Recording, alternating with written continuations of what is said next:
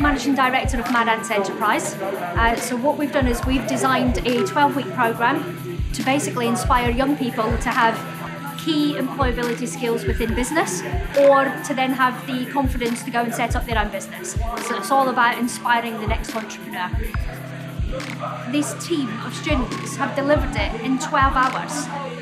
They've had two hours of training on how to pitch um, to business people. I think they've, they've come a long way. Fantastic product. From what they tell us, they've had a great experience, and that's what it's about. So they have a far better understanding of what the real world of work is like. They've gone and pitched it to very, very experienced business people today and had amazing feedback. You know, the dragons, in essence, were delighted not only with the products but how they conducted themselves and the way that they were able to communicate their brand and taking that forward. And whatever they choose to go on and do now, with their career and their future, they will be extremely successful young people. We've had an event today where some of the students have been um, exploring the thoughts from the public about what they think of the t-shirts and some of the students have taken this to a panel of experts and gained their views as well.